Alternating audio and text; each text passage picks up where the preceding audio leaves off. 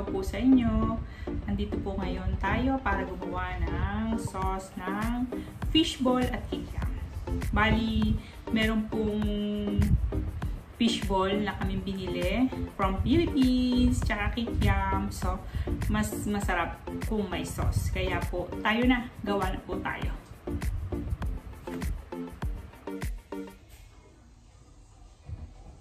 Ganito lang po ang gagawin natin. Paghahalo-haluin lang natin yung ingredients. Ayoko kasi ng uh, nagigisa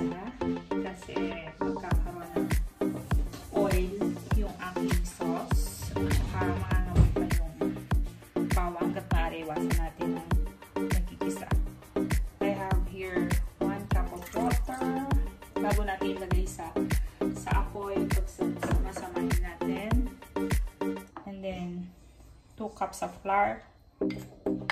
Konti lang yung aking gagawin kasi ano naman eh, konti lang yung konti lang yung aking fish balls at saka ang kia.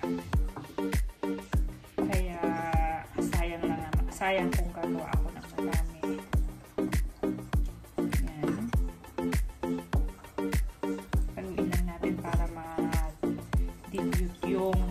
flour sa water. Yan. Para wala siyang bubo. Mas maganda nga kung ano eh. Kung sasalain natin para hindi masyadong.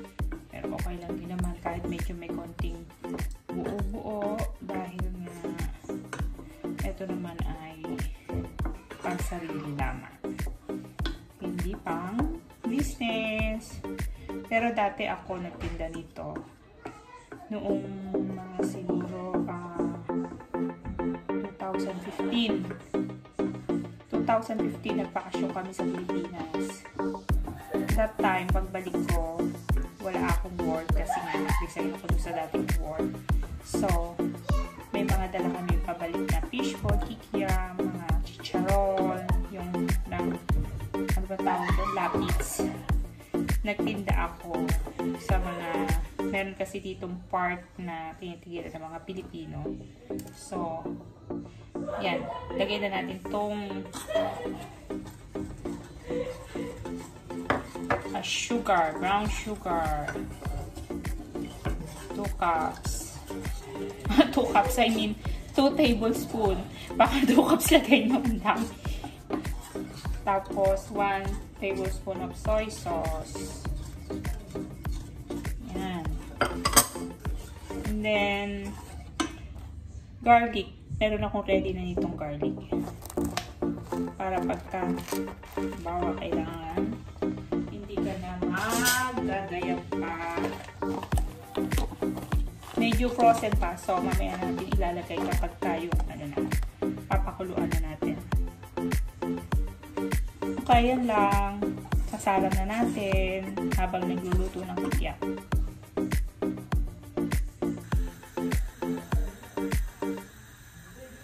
Ayan, sinalang ko na ngayon. Habang nakasalang, haluin natin ang haluin.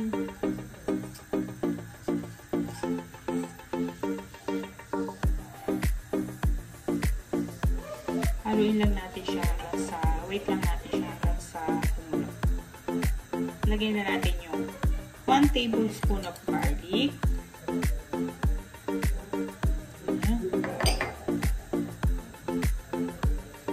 Tapos, haluin lang natin hanggang sa lumapot. Lapot lang. Tapos natin magawa ng sauce. Ah, uh,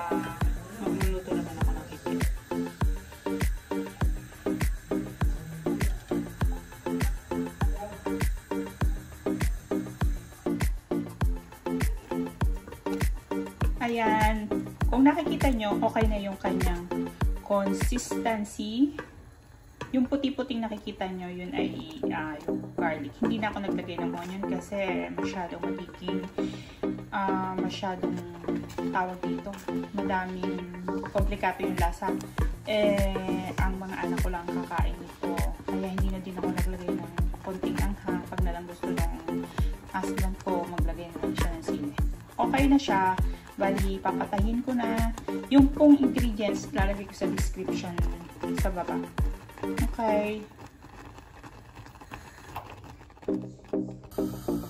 Ito ang iluluto ko muna ngayon. Kikyam. Thank you po sa nagdala from Philippines. Binili po namin. Binili namin siya doon sa nagbakasyon. Medyo mahal ang pagka dito mabibili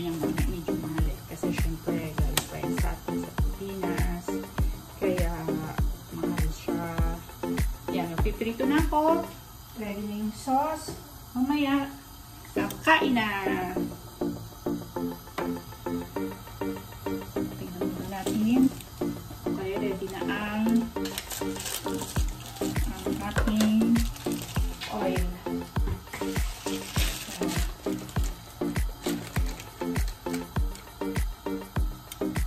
Hindi pa. Maano pa siya, malamig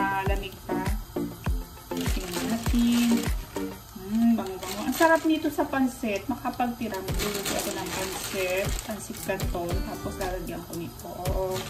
Bonissimo. Ayan.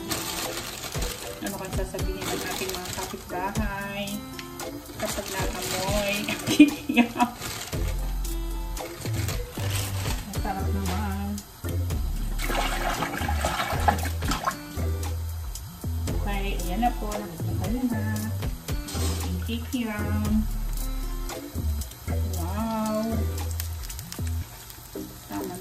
sa ating sauce. Sweet sauce. Nakakamiss tuloy sa Pilipinas. Lumabas ka lang ng bahay. Maya-maya, madami ng dadaanan. Lahat. Fishball. Taho. Yung bibingkang itlog. Tawag sa amin doon ay bibingkang ano tawag ko? Abnoy. Abnoy. Abnoy ba? Ayun. Ang sarap noon. Okoy. Turon. Ah. Binatog. Isaw. Naku po. Napakasarap. Antayin lang natin maluto. Okay na kaya ito?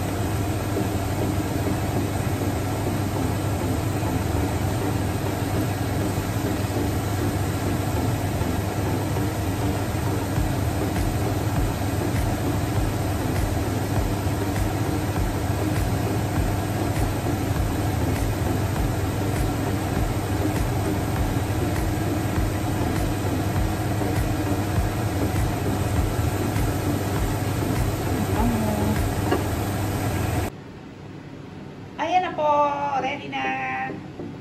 Kikiam with sauce. Nakita nyo naman ha. O ayan, ready na. Tatawagin ko na aking mga junakis.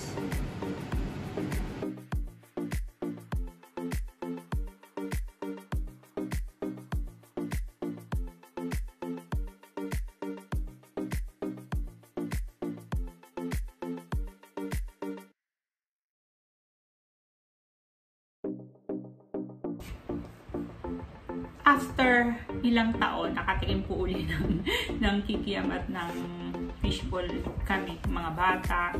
Yung pong bunso hindi masyado kasi syempre uh, hindi naman siya sanay kumain nun. Pero yung dalawa, uh, parang mga itik. tinuka ng tinuka yung fishball at saka kikiam. Um, parang nakauwi uli sa Pilipinas. sa mga ganyong simpleng pagkakataon. Parang lalo mong mamimiss ang Philippines. Paglabas mo lang ng bahay, ang dami mo lang mabibiling mga mga street foods, di ba po? Dito kasi makakatikim ka naman pero bihira at saka hindi lahat. Tsaka mahal. Kasi nga galing pang Pilipinas. Okay po, thank you po sa aking sa inyong panonood sa aking vlog. Sana po patuloy niyo po akong suportahan sa aking vlog para po tayo ma-monetize, ma-monetize na. And then, um, yung pong aking palaro, yung ating katuwaan, sana po mag sumali po kayo. Malay nyo po, kayo po ang mabunot. Sayang din po yun, di ba? okay, thank you. See you on my next vlog. Ciao, ciao. Bye-bye.